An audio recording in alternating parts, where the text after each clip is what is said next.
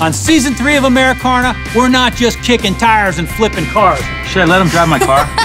yeah. So it was those stories of these guys and their cars that were tested on the beaches that we read about that we were like, this is a perfect recipe. What do you know about board track racers? I know that it was way crazier than anything we got going on right now. There's cars flying over, and uh, they're just hanging out the top. We're putting iconic race cars back on track. Ready? I guess. Are we clear to go?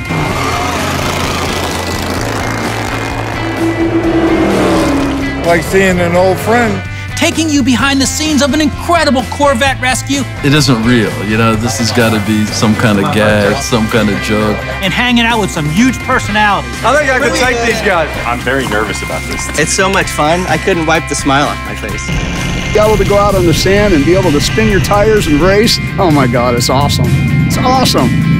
And that's AmeriCarna.